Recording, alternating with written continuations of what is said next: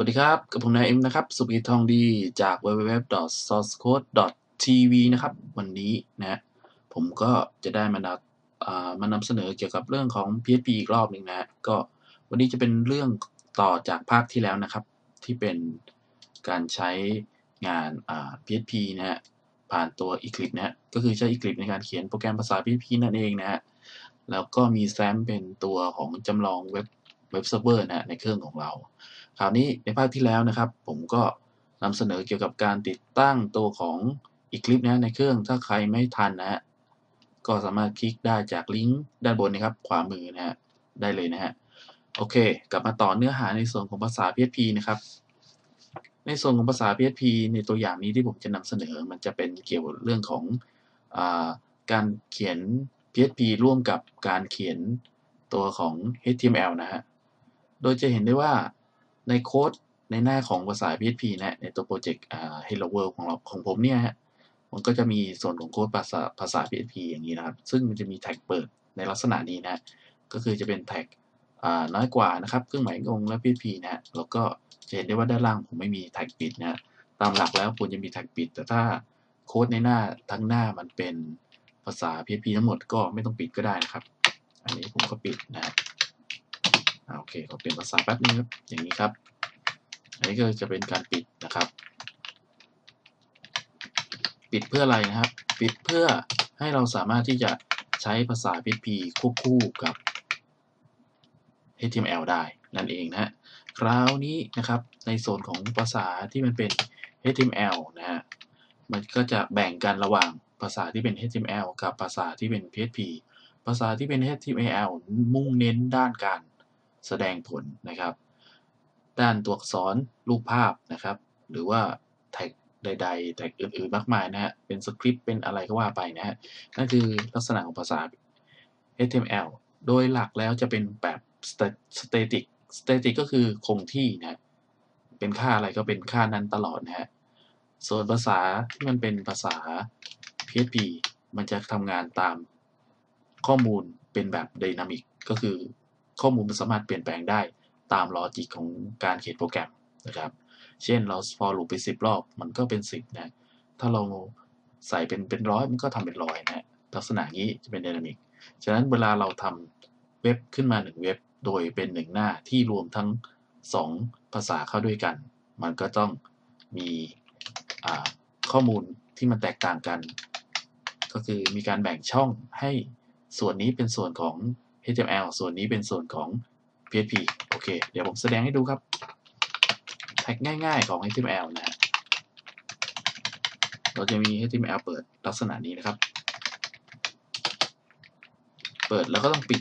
นะครับ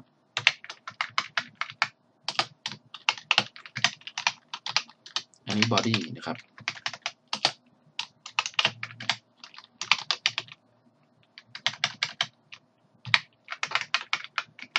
มี อีก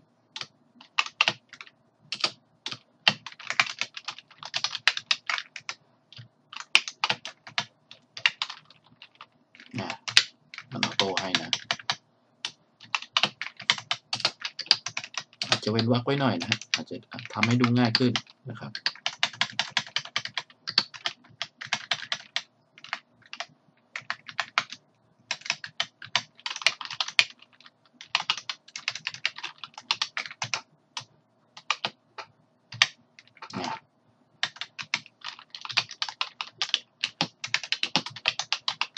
เคแค่นี้อธิบายก่อนนะฮะ HTML นะครับจะครอบครอบทั้งเอกสารทั้งอันนะครับ ต่อมาด้านในจะประกอบด้วยอะไรบ้าง ประกอบด้วย head นะฮะ head มัน head ก็จะบอกว่าส่วนหัวของเอกสารประกอบด้วยด้วยอะไรบ้างนะครับ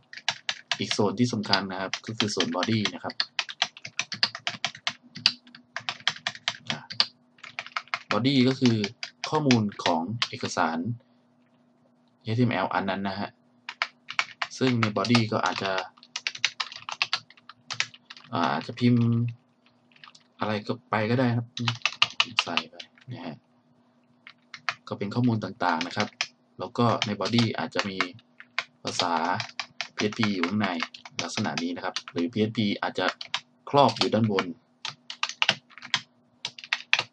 ในส่วนข้างบนนะครับ แบบนี้ก็ได้ รงนี้อาจจะ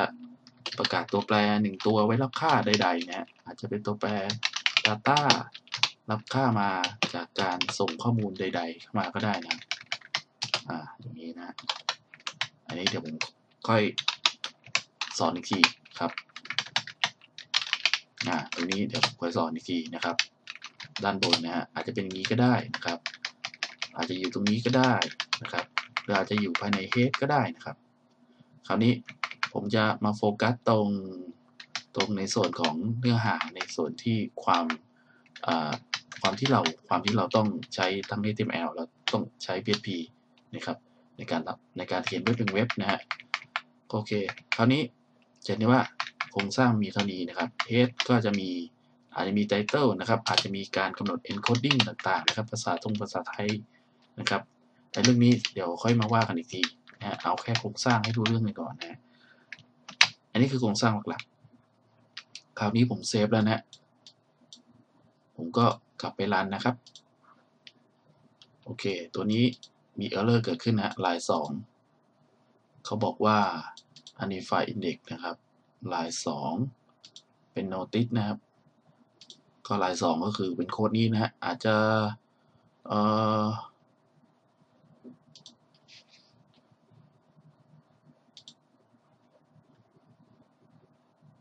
ผิดพลาดอะไรสักอย่างเนะเดี๋ยว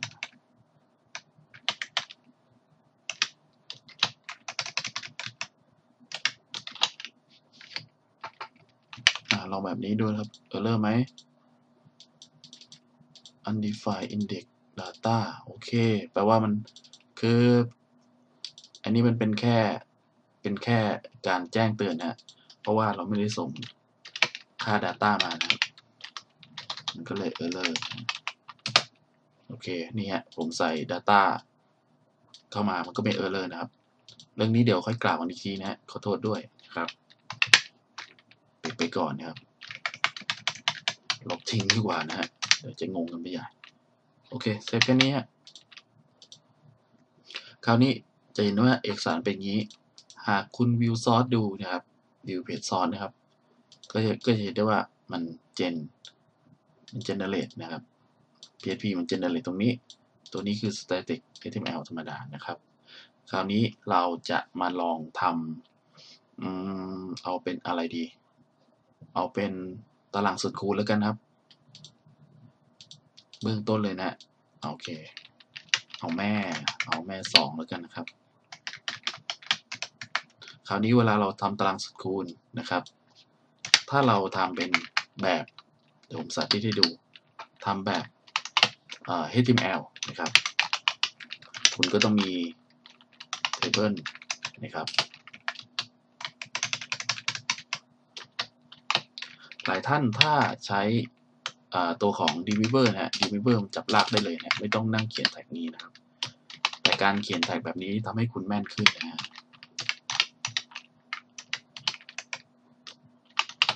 เดี๋ยวผมอธิบายแท็กพวกนี้ก่อนนะครับ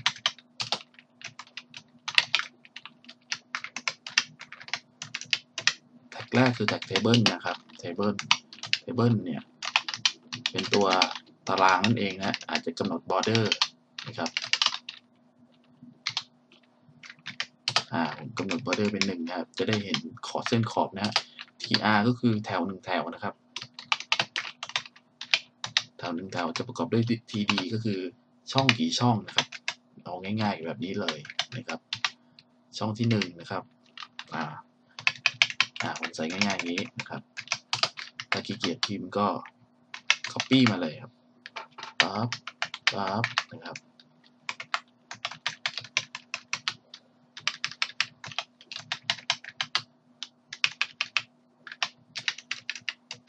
อืมอืมอันนี้คือซอสที่ที่ได้ออกมานะ จะยังไม่มีโค้ด PHP นะ จะเป็นโค้ด HTML อย่างเดียวนะครับ กลับมา ดูในแท็บที่มันมันมันไม่ใช่การวิวซ้อนฮะ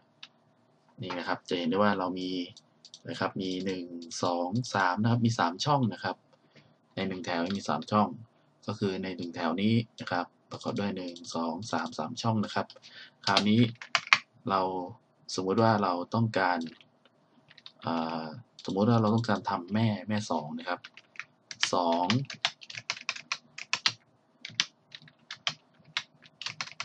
สองคูณหนึ่งเป็นสองนี่ครับ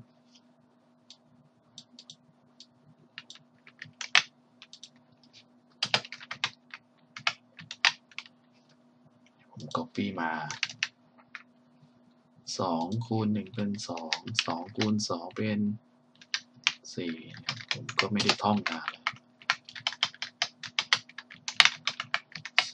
สองคูณสาม เป็นหกนะครับเซฟครับแล้วกลับมา refresh ดู มันก็จะเป็นแบบนี้ครับ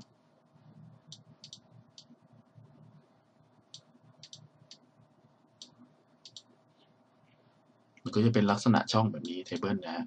เพราะว่าผมยังไม่ได้กำหนดวิดใด ๆ นะครับ view id ts นะครับ ใส่ความยาวมันหน่อยสัก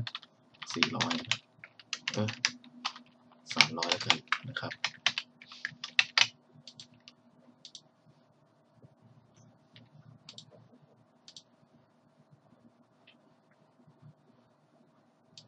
เขาบอกเขาหาไม่เจอนะ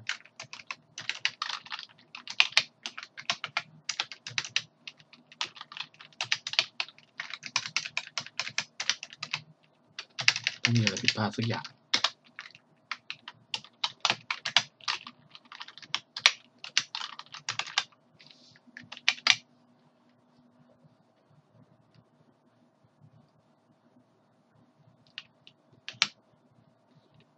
ก็มีคำแนะนำขึ้นมานะฮะเขาบอกว่าดย TH เนี่ย obsolete ไปแล้วนะฮะ ใน HTML5 นะครับไม่เป็นไรครับ เราใช้ HTML4 ไปแล้วกันนะฮะคือ HTML มันมีหลายเวอร์ชันนะครับ ไม่เป็นไรยุ่งยาก คราวนี้นะครับจะเห็นได้ว่า 2 คูณนะฮะจะเห็นได้ว่ามันไม่มีเราทำอย่างนี้นะครับ แล้วเราลืมเครื่องหมายคูณอ่าโอเค เราลืมเครื่องหมายคูณ เราก็ต้อง พิ่มช่องนะครับ ให้เป็นการคูณอีกหนึ่งช่องนะครับ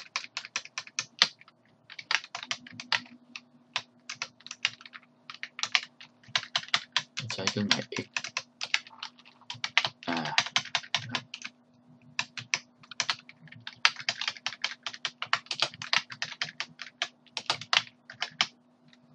แล้วขาดขาดอะไรอีกขาดเครื่องหมายเท่ากับอีก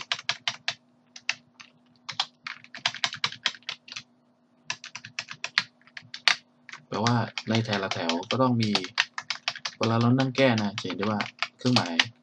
เอกสารที่เป็น static เราต้องนั่งแก้กันยาวนะฮะเป็นอย่างนี้ครับเฟิร์ฟเฟิร์ฟเฟิร์ฟดูไม่สวยงาม ผมก็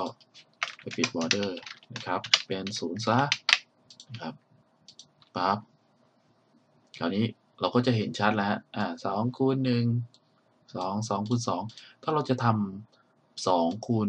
ตั้งแต่คูณหนึ่งคูณสองคูณสามแล้วก็ไปคูณไปถึงสิบสองนะจะเห็นได้ว่าเราต้องนั่ง copy นั่ง copy นั่ง copy ลงไป แล้วก็นั่งแก้ข้อมูลทีละบรรทัดทีละบรรทัด ถ้าสองไปคูณมันไปคูณถึงร้อยแล้วฮะเราก็ต้องนั่งทำแบบนี้ ซึ่งมันยุ่งยากนะครับ มันก็เลยเกิดเป็นเป็นโจทย์ที่ว่าภาษาที่มันเป็น static แบบเนี้ยเราจะต้อง ใช้ทูลที่มันเป็นภาษา dynamic มาคุมมันอีกทีนึงก็คือให้มันเจนข้อมูลที่มันเป็น static ออกมา ให้เป็นอย่างที่เราต้องการนะครับ คราวนี้เราจะทำยังไงใน ถ้าถ้าเป็น PHP เนี่ยถ้าเป็น HTML คุณจะเห็นว่าคุณจะต้อง copy เนี่ยแล้วก็ทำต่อไปทำต่อไปแก้ทุกบรรทัดสองคูณถึงร้อยถึงล้าน คุณก็ต้องนั่งแก้ทุกบรรทัด ซึ่งมันเสียเวลานะครับ คราวนี้ เวลาคุณจะเขียนภาษา PHP นะครับ เพื่อโซฟปัญหานี้นะฮะปัญหา PHP ภาษา PHP ช่วยได้ครับ ให้มันง่ายขึ้นนะครับ คราวนี้เวลาเราเขียน PHP เราก็ต้องแบบนี้นะครับ หลักการก็คือ เราจะเขียน PHP ครอบให้มันวนลูปทำงาน เฉพาะตรงนี้นะฮะซึ่งในภาษาโปรแกรมมิ่งทุกภาษานะครับ จะมีปะมีพวกรูปแบบคำสั่งเงื่อนไข รูปแบบคำสั่ง for loop นะ ก็คือวนรอบดู while หรือใดๆ เงื่อนไขต่างๆนะครับ ทุกภาษามีอยู่แล้ว PHP ก็เช่นกันครับ PHP ก็มีนะ คราวนี้เราจะ for loop นะครับ ผมก็เปิดแท็กเลยนะครับ นี่นะฮะก็แตกตัวนี้นะครับ php จากนั้นก็ใส่ for ไปเลยนะครับ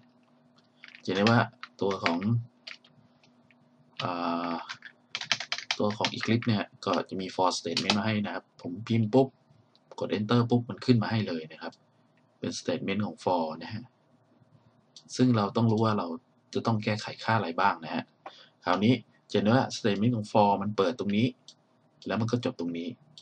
นะครับ แต่คราวนี้ผมต้องการให้มัน for loop หลายรอบนะครับ ผมต้องการให้มัน for loop ทั้งหมดนี้นะครับ แปลว่าจุดหมายสิ้นสุดมันต้องมาครอบอยู่ด้านล่างนี้นะครับ เพื่อให้มันทำทั้งหมดนะครับคราวนี้ผมก็เลย โอเค มาเตรียมเตรียมปิดนะฮะไว้ข้างล่างนะครับแล้วก็เอาเครื่องหมายปิด Ctrl X นะฮะวางไว้ตรงนี้ แค่นี้ครับ มันก็มันก็จะ for loop ครอบ tr ทั้งหมดของผมนี่นะครับ คราวนี้ยังเหลืออะไร ยังเหลือการกำหนดค่าครับ เช่น สมมุติว่าเรากำหนดค่า string i อันนี้เขาให้มาแล้วนะ ผมก็เลยตามเลยนะครับ string i เท่ากับ 0 เราไม่ใช่ฮะ เราต้องเริ่มตั้งแต่1ใช่ไหมหนึ่งจนถึง12เนี่ยก็คือ2คูณตั้งแต่1จนถึง2คูณ12 i น้อยกว่า หรือเท่ากับ12 i บวกบวกนะครับคราวนี้เอานี้แค่นี้ก่อนนะฮะ แล้วก็เซฟนะครับ แล้วก็ไปรันดูผล จะเห็นได้ว่าตัวโค้ดของเรานะครับ มันจะทำทั้งหมด 12 ครั้งนะครับ ลงมาอย่างนี้ เป็นค่าเดิมๆนะครับ ลองไปดูที่ view source นะฮะ กด refresh เพิ่มจะเห็นได้ว่าบล็อกเนี่ยจะถูก create ขึ้นมาตาม loop for ของเรานะครับ 12 รอบฟืบ generate ให้เราเรียบร้อยแล้วนะภาษา PHP ก็คือเอกสารนี้เวลามันทำงานปุ๊บ มันจะถูกไปทำงานเป็น PHP ก่อน PHP มันก็จะเจนตัวเอกสาร HTML มาที่เป็น static ครับเจนมาให้ ทำตามโลจิกของมันนะฮะที่เราออกแบบ ก็แค่นี้นะครับ คราวนี้เรามาทำในส่วนของโค้ดของเราให้จบกันนะฮะ2คูณ1นะครับ ตรงนี้ต้องเปลี่ยนเป็น 2คูณ i นะครับ ซึ่งค่าของ i เราสามารถใส่แท็ก PHP อย่างนี้ได้นะแล้วก็มันก็มีรูป อ่า ผมสามารถ echo ค่าของ string i ก็คือตัวแปร i ออกมาได้อย่างนี้นะครับ เดี๋ยวลองเทสเฉพาะตรงนี้นะกลับไปนะครับ นี่นะแถวนี้ก็จะเปลี่ยนแล้วนะก็หนึ่งสองสามสี่ห้าแหมถึงสิบสองนะครับ คราวนี้มันมีรูปย่อนะของการทำแบบนี้นะ รูปย่อมันก็คือ ใส่เครื่องหมายเท่ากับตรงนี้เลยนะครับ ใส่อย่างนี้เลยนะครับ ย่อจริงๆฮะสั้นลงกว่าเดิมเยอะนะฮะก็รีเฟรชแล้วทำงานเหมือนกันนะเหมือนเหมือนเดิมเลยนะครับ นี่คือรูปย่อของมันนะครับถ้าเห็นก็ไม่ต้องตกใจ คราวนี้ มีในส่วนของผลของมันที่ยังไม่ถูกต้องนะครับ ก็ ใส่ผลให้ถูกนะ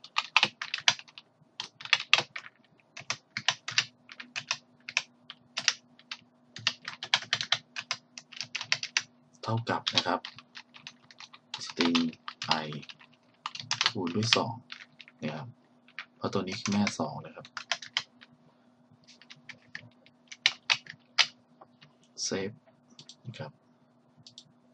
เนี่ยเราก็ได้ตารางสูตรคูณเรียบร้อยครับ2คูณ1เป็น 2 2คูณ2เป็น 4 มันถึง 12 นะครับ อย่างที่ผมบอกว่าถ้าถ้าไปถึงร้อยล่ะ ได้ไหมก็แค่เปลี่ยน ค่าของมันครับจาก 12 เป็น 100 เซฟ แล้วก็กดรีเฟรชมันก็คูณให้เราฮะนี่นะครับ เราก็ได้ตารางสูตรคูณง่ายๆมาแล้ว 1 อัน คราวนี้ถ้าใครต้องการทำแม่3แก้ยังไง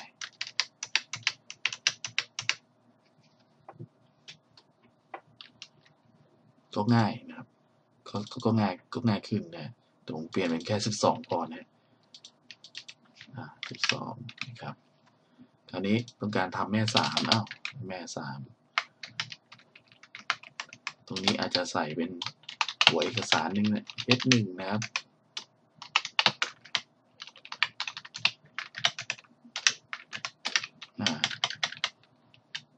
อันนี้ผมจะเป็นแม่สองนะครับเดี๋ยวลองเซฟก่อนดีกว่านะเอาให้ดูผมก่อน อ่านี่แม่สองเป็นอย่างนี้ครับ อไปแม่สาม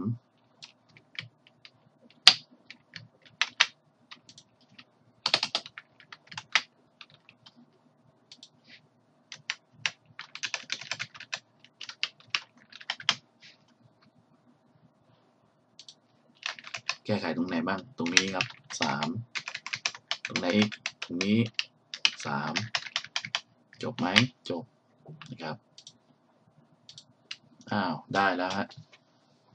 2 ได้นะครับ แม่ 3 ได้นะครับ เห็นได้ว่าเราสามารถทำตารางสูตรคูณ เกิดคำถามต่อมาว่า อ้าว แล้วทำไมตัวของ ตัวนี้ยังต้องทำดูพิเกตถ้าเราไปทำแม่แม่ร้อย เราก็ต้องทำอีกเสียเวลาอีก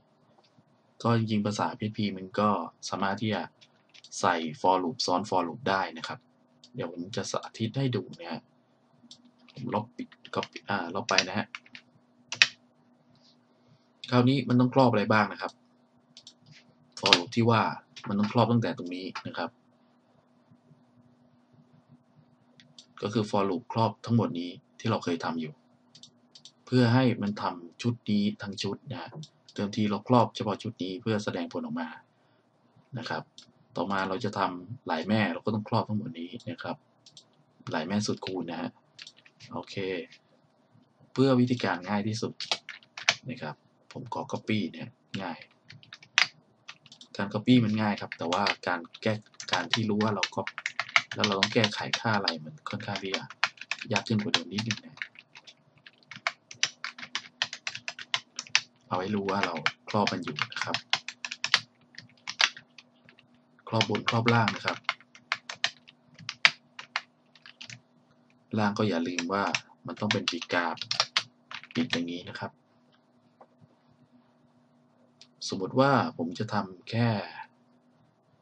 กี่แม่ดีสักเอาแค่แม่สองแม่สามเมื่อกี้ครับ ถึงสามนะฮะจากค่าสองนะครับ คราวนี้สิ่งที่ระวังส่วนที่หนึ่งก็คือจะเห็นว่า string i ถูกใช้งาน ทั้งในและนอก ซึ่งมันจะชนกันแน่นอนนะครับปั๊บเห็นไหม ปั๊บมันชนกันแน่นอน สมมติ i วิ่งมาเป็น 2 วิ่งมาปุ๊บ for loop ตัวนี้อีกมันก็จะชนกันอีกนะค่าตัวแปรถูกใช้ร่วมกัน การทำงานก็อาจจะผิดพลาดได้นะฉะนั้นในรอบนี้สมมติเป็น string x ละกันครับ string x เริ่มต้นตั้งแต่ 2 นะครับ string x น้อยกว่าเท่ากับ3 string x บวกบวกนะครับ ตัวนี้ที่จะแสดงนะฮะ มันก็ต้องเป็น นะครับ เป็นค่าของ string x นั่นเองนะครับ เท่ากับ string x นั่นเองครับ แล้วอะไรอีกที่ต้องแก้นะครับ ตัวนี้เองนะผมขี้เกียจขี้เกียจอีกแล้ว copy มา ตัวนี้ต้องต้องบอกว่าเป็นแม่อะไร นะแล้วคราวนี้เวลามันคูณกันเสร็จ มันคูณ 2 ไม่ได้แล้วนะครับ มันต้องคูณด้วย string x นะครับเรียบร้อยครับเซฟกด refresh ได้เหมือนเดิมนะก็คือแม่ 2 ก็ทำนะครับ แม่ 3 ก็ทำคราวนี้เราบอกว่าเอาไปยันแม่ 12 แล้วกันนะครับเซฟนะครับกลับไป refresh ปืดนะ เห็นไหมฮะแม่สองทำนะครับ แม่สามทำแม่สี่แม่ห้าแม่หกแม่เจ็ดแม่แปดแม่เก้าแม่สิบแม่สิบเอ็ดแม่สิบสองนี่เรียบร้อยครับ นี่คือตัวอย่างโค้ดของการเขียนสุดคูณนะฮะด้วยภาษา PHP นะฮะตอนนี้อาจจะยังไม่สวยนะครับ ก็ไปปรับแต่งภาษา PHP ให้มันสวยขึ้นนะฮะใส่สีใส่อะไรได้เลยนะครับ ก็สำหรับคลิปนี้ก็มีเพียงเท่านี้นะครับ แล้วพบกันใหม่ในคลิปหน้าครับ สวัสดีครับ